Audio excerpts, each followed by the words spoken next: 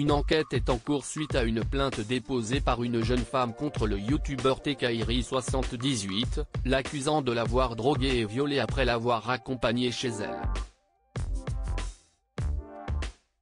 Une enquête a été ouverte par le parquet de Paris à la suite d'une plainte déposée par une jeune femme contre le youtubeur Jawed Daouki, plus connu sous le pseudonyme Tekairi78, selon nos confrères du Parisien. La plaignante affirme avoir été droguée et violée par le youtubeur après qu'il l'ait accompagnée chez elle.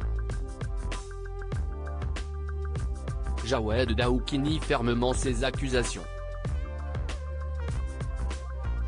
Selon Le Parisien, la victime présumée a porté plainte au commissariat du 14e arrondissement de Paris dimanche dernier. Le parquet de Paris a immédiatement ouvert une enquête et saisi le premier district de la police judiciaire de Paris pour mener les investigations.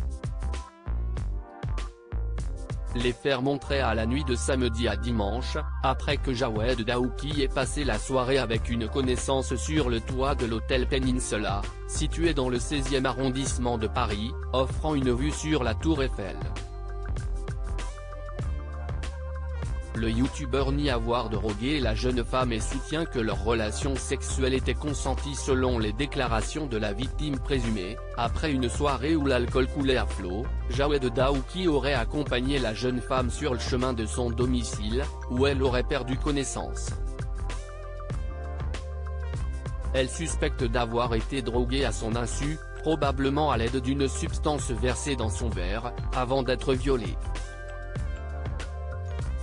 Jawed Daouki, contacté par Le Parisien, conteste formellement ces accusations et affirme être très surpris par le dépôt de plainte. Il nie avoir drogué la jeune femme et soutient que leur relation sexuelle était consentie. Il témoigne qu'ils ont tous les deux bu plusieurs verres et affirme que la jeune femme était complètement ivre, ayant vomi à plusieurs reprises sous l'effet de l'alcool.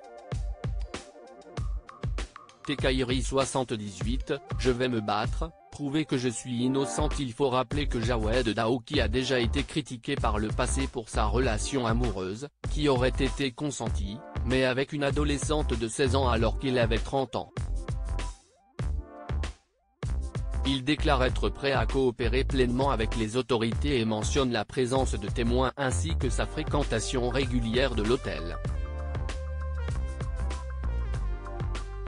Le créateur de contenu a réagi sur Twitter pour se défendre, alors que je pensais que les problèmes étaient finis et que je commençais à redevenir qui j'étais voilà que ça retombe. Je vais me battre, prouver que je suis innocent. Merci aux vrais qui sont toujours là, a-t-il écrit, avant de lancer un live sur Twitch pour à nouveau clamer son innocence. Tekairi78, présent sur la plateforme YouTube depuis plus de 10 ans, s'est fait connaître grâce à ses vidéos insolites où il déguste des tacos et des hamburgers en compagnie d'un ami, face à la caméra.